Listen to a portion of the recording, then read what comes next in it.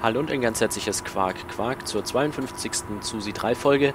Wir befinden uns hier jetzt im Jahr 1994 und vor uns steht Sandwich Garnitur Baureihe 111 mit insgesamt 10 Dosto der Bauart 750 und 755, also DBZ noch mit Mintgrün und hier unsere beiden Elver natürlich auch in Kieselgrau Orange. So, dann würde ich sagen, fahren wir hier gleich mal los. Wir befahren jetzt hier das neue Streckenmodul vom Team Süd. Zwischen Herbertshofen und Westendorf jetzt hier ist der Abschnitt neu.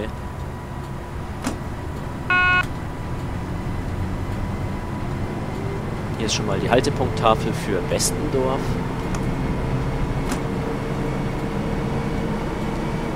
Wir sind ein Eilzug und haben die Zugnummer 3959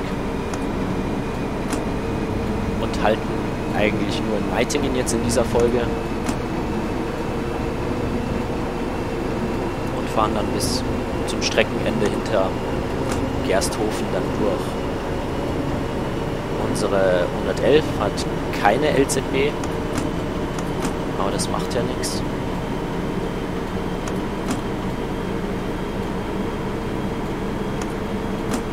Für die eine Station dachte ich mir, ja, können wir uns auch das FIS sparen machen wir die eine Stationsansage selber. So, da hinten durchfahren wir gleich Westendorf. Als ich da das erste Mal mit der Regionalbahn ran, äh, lang gefahren bin, erstmal komplett versenkt, ja. Irgendwie nicht wahrgenommen, naja. Sehr schön gemacht hier. Wir fahren dann auch mal in der Regionalbahn, wo wir das Ganze mal dann bisschen langsamer und äh, ausführlicher bestaunen werden.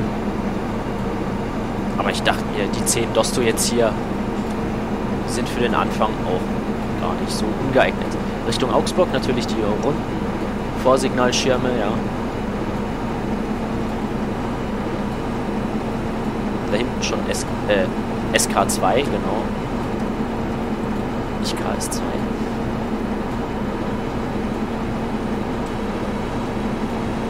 Nächster Halt, Meitingen, Ausstieg in Fahrtrichtung rechts.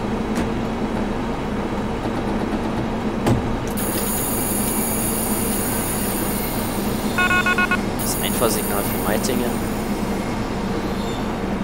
Können ja auch schon mal gut runterbremsen.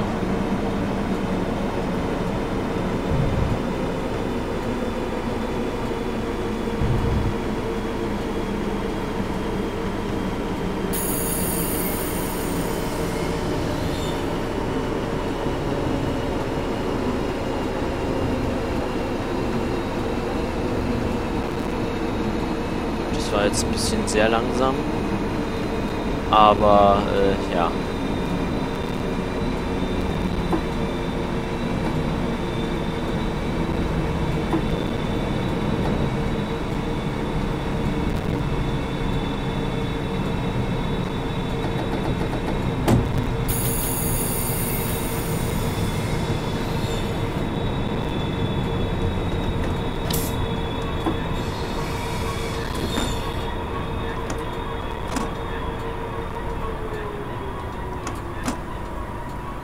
Oh, meine Fresse. Wieder sehr gut gefahren hier.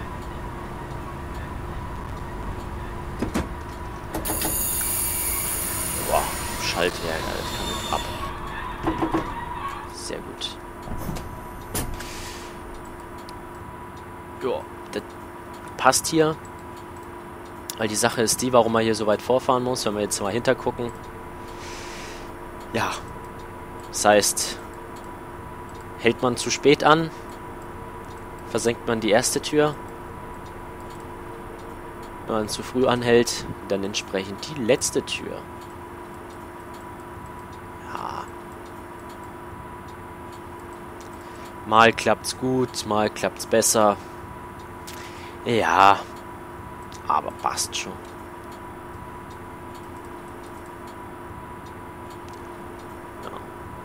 Es gibt noch einen anderen Fahrplan. Ich glaube, da sind es nur neun oder acht Dosto.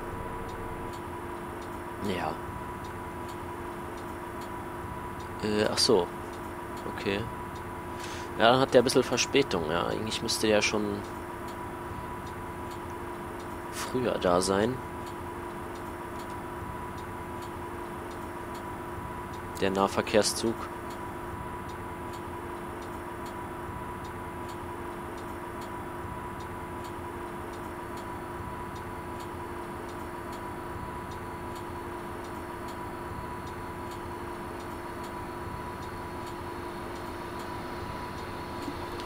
Also er hat sich ja ein bisschen verfahren, wenn der nach Altenbeken fährt.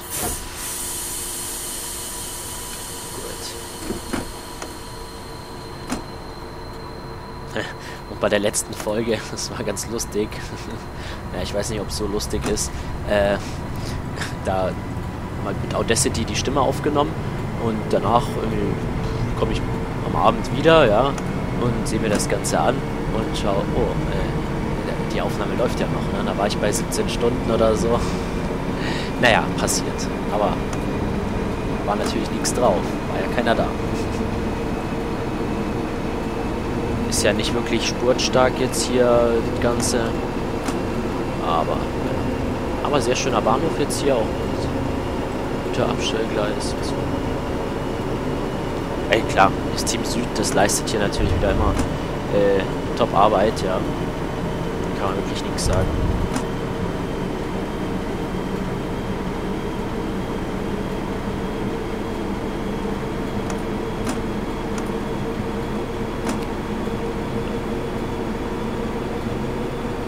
Wir sind dann auch ziemlich schnell jetzt dann wieder in Herbertshofen. Aber da wir ja ein Eilzug sind, halt äh, noch nicht.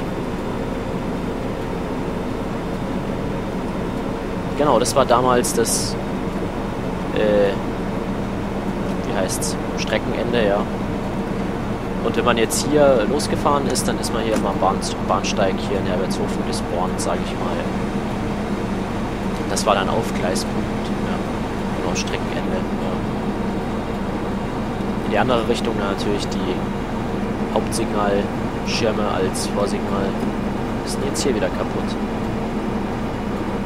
Jetzt dachte ich, haben wir schön grüne Welle, können wir nach Gersthofen rüber heizen wieder so eine Scheiße hier.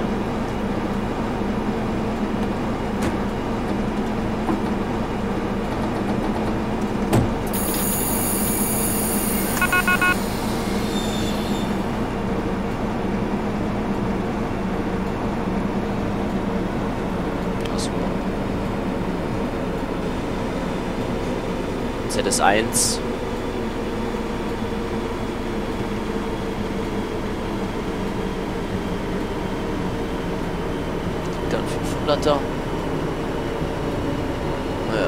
Schon.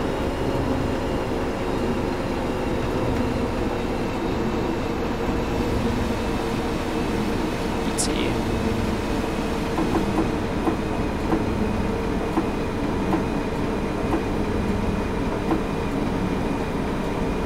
ZS1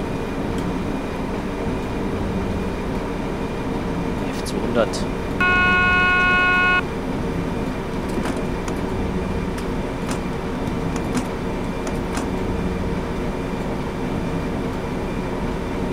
ist ja ein Blocksignal, das heißt, wir fahren jetzt hier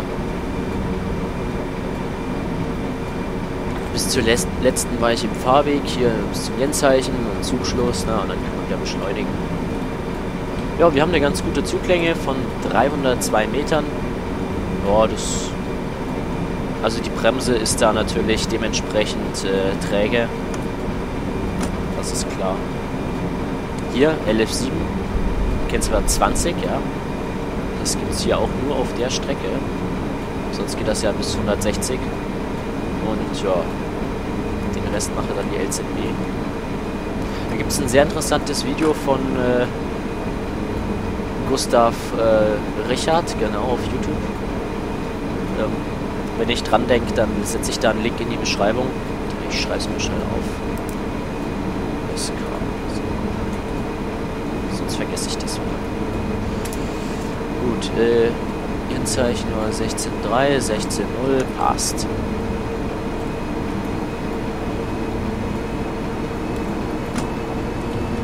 Da hat er die Geschichte ganz schön erklärt. Und äh, die hatten ja da mal vor, wirklich Signal geführt. Also ohne LZB da 200 zu fahren. Ähm, mit irgendwelchen blinkenden grünen Lichtern. Quasi 2000 Meter Vorschau. Ach, alles, ja. Und dann haben sie ja doch die LZB eingebaut. Ja, aber ist immer noch eine Besonderheit, ja. Finde ich ja auch sehr schön, dass man hier die, die Strecke noch ein bisschen äh, in Erinnerung behält. Weil da kommen ja jetzt bald die ersten KS-Signale hin. Sehr schade eigentlich, aber was soll man machen, ja? Da kann man nichts machen. Kann eigentlich stehen lassen, ja.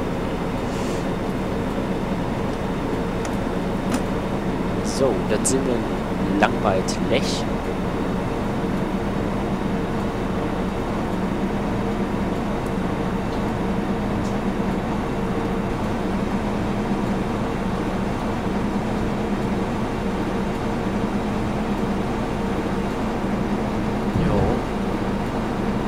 140 ist unsere Höchstgeschwindigkeit von dem DWZ.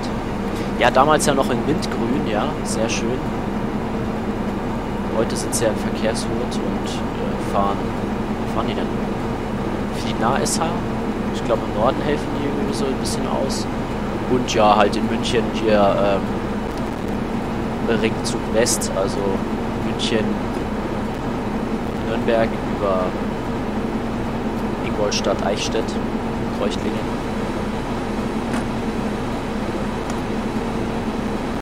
Weil da fährt er jetzt auch ziemlich oft der Twindex. Ne? Die Reservegarnitur am München Hauptbahnhof, die ist auch noch mit hier. Nee, sieht man hinten auf Gleis 26. Einfahrsignal Gablingen. Natürlich auch die Mastschilder. Weiß nicht, ob ihr darauf geachtet habt. Ja. Achso, falls sich jetzt hier einer wundert, wieso das jetzt hier die 52. Folge ist und ob ich nicht zählen kann, weil nach der 50 kommt da die 51. Ja, das ist mir auch klar. Ähm, allerdings wollte ich jetzt hier dieses Streckenmodul, das andere Video, die 51. Folge, die hatte ich jetzt schon aufgenommen und alles und alles schon dafür erstellt. Da äh, das bleibt so. Das bleibt die 51, kommt halt nur ein bisschen später. Das äh, fällt keinem auf. Na, ich wollte jetzt hier die Strecke mal zeigen, ja. Da das andere Video ist noch ein bisschen Zeit, sage ich mal. Ist jetzt mal hier eigentlich schon mal Güterzug gefahren?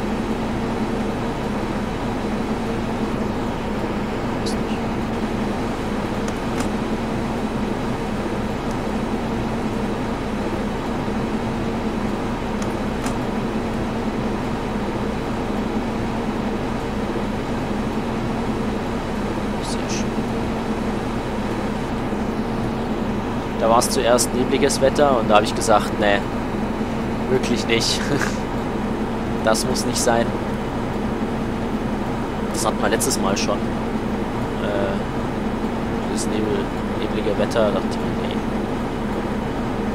Ab und zu ja, aber man sieht halt dann nichts von der Landschaft. Ne? Und das ist dann auch, wenn man jetzt gerade so eine neue Strecke vorstellt äh, oder befährt, da muss es ja nicht unbedingt neblig sein. Klar, Normalerweise kann man es sich ja nicht aussuchen, aber 151, 151 Bremshundertstel sind wir eigentlich auch gar nicht so schlecht dabei. Klar, geht besser.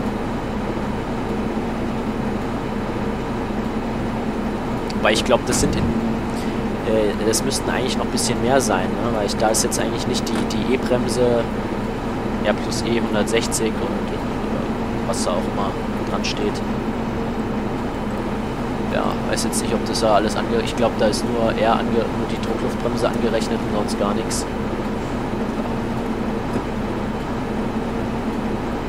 So, Gersthofen, ist eigentlich bekannt. Ja. Ist nicht so viel dazu zu sagen. Da hinten schon ein SK2. Ja, es ist halt viel vom ja, Vorläufer vom, von den KS-Signalen, ja.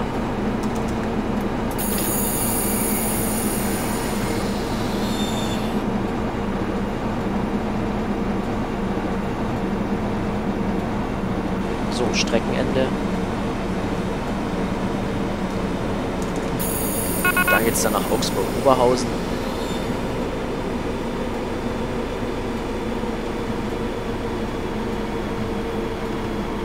Ja, ich würde sagen, dann bedanke ich mich fürs Zusehen. Und äh, würde mich auch dann wieder freuen, wenn Sie das nächste Mal hier wieder einschalten.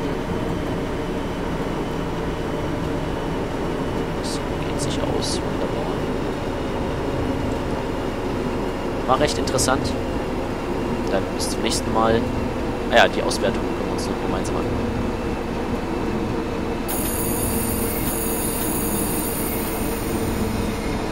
Ist mir auch schon mal passiert, ne?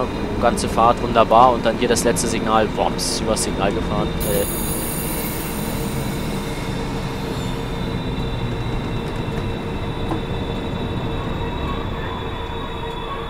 Ja, wunderbar. 88,9% Ja, passt. 11% Abzug gegen VMAX-Überschreitung hier, das geht ja gar nicht. Hier so ein bisschen, ja. Ansonsten ist halt keine große Sache. Hier abbremsen, Gas geben, dann hier ZS1 auch korrekt abgehandelt. Ja gut, war jetzt auch nicht so schwer. Ja, wunderbar. Dann vielen Dank fürs Zusehen. Bis zum nächsten Mal. Auf Wieder. Tschüss.